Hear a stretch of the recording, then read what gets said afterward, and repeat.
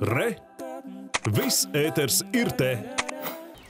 Komunistiskā režīma īstenoto deportāciju upurus šodien piemin daudziet Latvijā. Smiltenē atceras dienā kopā sapulcējušies neliels skaits pulciņš represēto un arī viņu tuvinieku. Pagājušā gadsimta 40 gadu, 40. Nu, gadu notikumus daudzi saskat līdzību ar to, kas šodien notiek Ukrainā.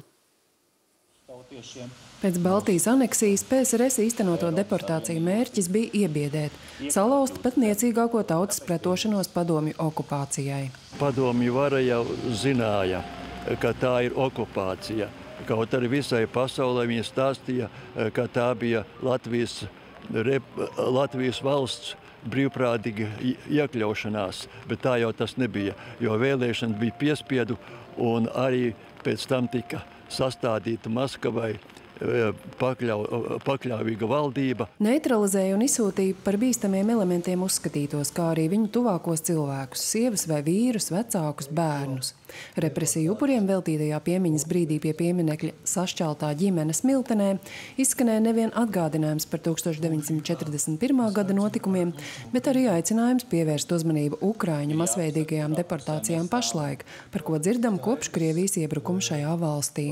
Tas pats arī notiks ar, ar, ar Ukraiņiem, jo viņi jau cīnās un nepadodas, un arī tur ir tautas pretestība, un lai to pakļaut, lai iebaidītu, nu vajag vienu daļu cilvēku aizsūtīt. Īpaši aizsūtīt tos aktīvākos un gudrākos. Piemiņas brīdim sekoja saviesīgs pasākums Smiltens kultūras namā ar dziedātāju Viktoru Lapčēnaku priekšnesumu. Tālumā, un sāc viss notiek. Kaut gan dziesmā skan vārdi viss nāk un aiziet tālumā, aizmirst izsūtījumu nav iespējams.